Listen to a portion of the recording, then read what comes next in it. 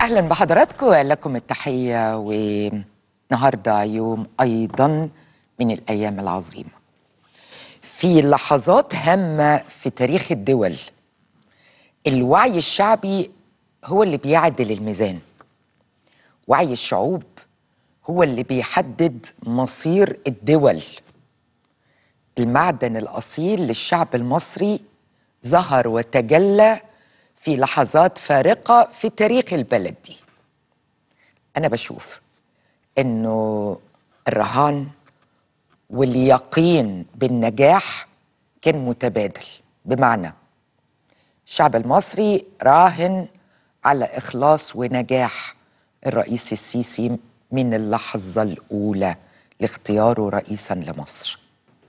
وكمان الرئيس السيسي راهن على وعي وتحمل الشعب المصري بأنه هيستحمل الإصلاح الاقتصادي.